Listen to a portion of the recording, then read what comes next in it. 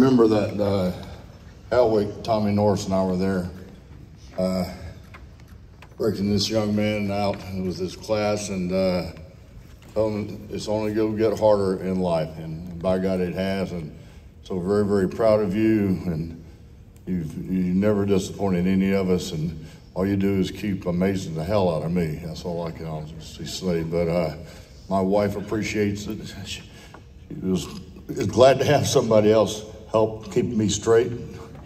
Uh, but uh, God bless you. I tell you, uh, as we say here, uh, the honor flight, thank you so very much for having us to come. Uh, there, there's friendships, comrades in arms, people have been wounded together. You know, got one of my favorite bosses of all time sitting over there, Tom Boyhan, hell of a damn. Everybody just seemed to like me there were lousy pilots, thank God, because I tell you, between Tom Boyhan and, and uh, Tommy Norris and a few other Gary Gray, thank God they couldn't fly because they were one hell of SEAL officers. So, so thank you. My good friends, Mike Lacaze, Hal Kirkendall, Wayne Hampton, Danny Harrell, Chuck, all you guys, we went to training. Gary, we all went through the training at the same time. We're called underwater demolition recruit training all my veterans, comrades in arms. It's you guys that were mentors to me too. I look around this room, John Feach, what a hell of a guy he was. Terry Moy, what a proctor, with his foot up my ass half the time. Tell you, Dick Allen, what a monster. Vince Oliveira, unbelievable. And always, every time I think about Hell Week in our class, I think of Danny Harrell trying to carry paddles, and we wasn't tall enough to do anything else. and still not tall enough to do anything else. but I look out here, and all you guys that were mentors to me, as he was saying, his uncle, my mentor, my greatest mentor of all time was my father. Sixth grade education worked hard all his life. My mother gave me in the mountains of South Carolina, gave me love, gave me religion. And my father was nothing but a perfect example of what a man should be like. You know, when we go through training in our class, class 49, the camaraderies, the friendships, they last forever. If the good Lord's willing, I hope to go that great circle up in the sky and sit there and tell my lies to them as they tell their lies to me. Because I tell you one damn thing is Wayne Hampton, I know. Hal Kirkendall tell more bullshit than anybody else I know. but not but Mike Lacaze tells really good ones too, but he uh, is a little bit more truthful than Hal sometimes. but, uh, you know, I look at CEOs over here, Dan. I think of Uncle Dave, Andy Anderson, guys that were unbelievable commanding officers.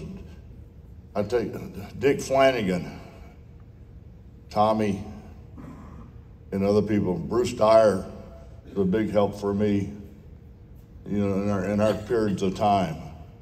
But all were great officers. And I really enjoy every year that Paul Plum puts that thing on at the brigantine, just to sit there and see everybody and listen to good old stories and talk about everything. I want to thank my good friend Woody Woodruff for picking me up off the Ben Hai River in North Vietnam. I'm glad he was fishing that day because if he hadn't, I'd been I'd been crab meat. So, uh, but he asked me if I wanted a ride, and I said, sure do, buddy. So, uh, Woody, thanks for being here after 40 years. And thank you for what you did for saving my life and my men, too. Because I'd still be uh, stroking, and uh, but Tommy would have been in bad shape, that's for sure. Um, I look out in this audience And I believe in each and every one of you guys that fought with me as comrade in arms. And I know you know how we feel about what happened when we came back. But I've always said be very, very proud of what we've done. Be proud of what we did. Be proud that we served our great nation when they asked us to go. And did anybody say no? Nobody said no. Did anybody in this room run across the damn border and hide? We didn't hide. We stepped out and we showed the way. We led the way in Spec War Group. The SEALs, the OUDT, we moved forward. We never went backwards. Because you've got to take it on at the front. You have to attack the enemy. Now, you don't have to attack them the right way. You can cheat a little bit, but you have to attack them. And you can't be afraid of them because we're all born to die. And you guys were born to live, and we're all born to die. But we are, are born to move forward against the enemy. We move forward to take over land. We did things that no other organization's ever done during Vietnam.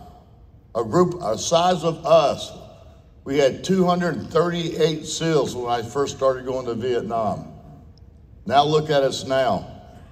Look what we've done. Spec War with the leadership of great men have moved forward to move us where we are today. But you guys were the leaders. You were guys when we started in 62, when you picked up the first set of weapons. You guys that constructed us to stand up there and take a beating. God, I love Dick Allen, but I sure didn't like him punching me in the damn gut hanging from a pull up bar. But did that make me a better man? Some ways, yes. Some ways, no. But you know what I'm so proud of? I look at these kids right now. These young men are going through training and how smart they are. God, I was dumb in the dirt. I had to get a 10 point waiver. I waited around from class 42 to class 49, which I'm glad I went to class 49 but just to get a waiver. So I sat around and mopped floors for a while until I was able to get the training. I'll never forget the first time I went to training. My first guy was Hal Kirkendall. I felt so bad about Hal. He loved Texas. He loved Texas. Still got that damn twang accent, crazy as hell. He had to go back to Texas. Well, he ain't left California. I ain't figured that one out yet, but but I used to Hal. I felt so bad because he loved Texas. So I'd get somebody to take me up that damn Imperial Beach, and they had a big old cow farm up there off the Interstate 5. And I'd get out there and I'd take me a box and I'd pick up cow pies. And Hal would wake up in the morning, What the shit is this? I said, Cow shit, Hal. but who else? He, he didn't kill me, he loved me. I paid for it for a little bit. But that's the camaraderie. We're like brothers. Brothers fight, but brothers are always there next to you. We're friends. There's something you can never take away that. You're there. The reason I changed that statue, we're swim buddies. You're more important than I am. And I'm more important than you are. And that's the reason we fight the battles we fought today, time. Because it's the guy in front of you, the guy to the left of you, the guy behind you, the guy that's got your rear. We've always been there for each other. We never ran. We protected each other. And that's the reason we call that big statue down there Swim Buddies. Because we're a team. And I tell you one thing, we've been in a lot of fights together. I can remember and on our way to Vietnam, and we stood together. We didn't care what the damn odds were. I can remember going into uh, uh, over there with Wayne into a, into a, a, group, I can remember fights jumping out of trees with Mike and them. I can remember everything, but we stuck together. We didn't care what the odds were. And we sure as hell didn't care what the odds were in Vietnam. So, you, I am so very proud of my comrades in arms. And there's one thing I never want to do, it's embarrass you. Because I tell you, this movie we're doing, I hope going to be proud of it.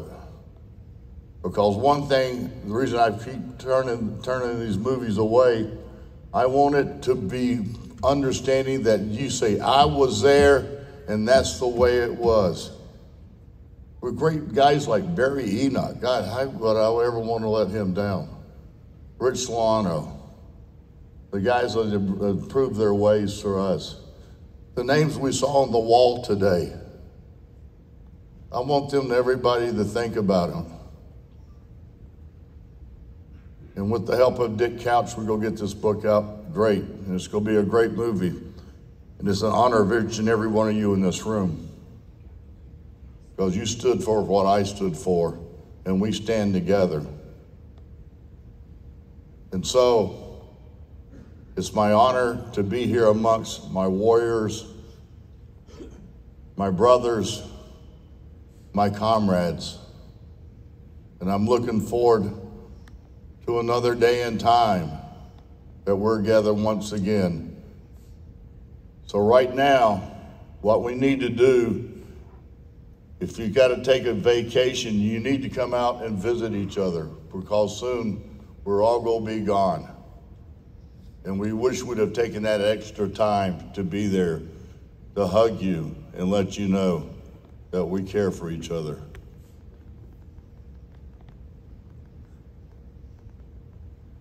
It's okay to cry there, buddy. I cry all the damn time.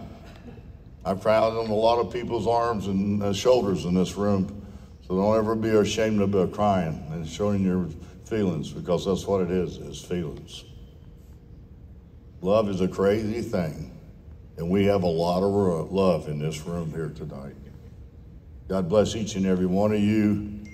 God bless the greatest country in the world. God bless our seals above who watch over us. And God bless America always. Thank you very much.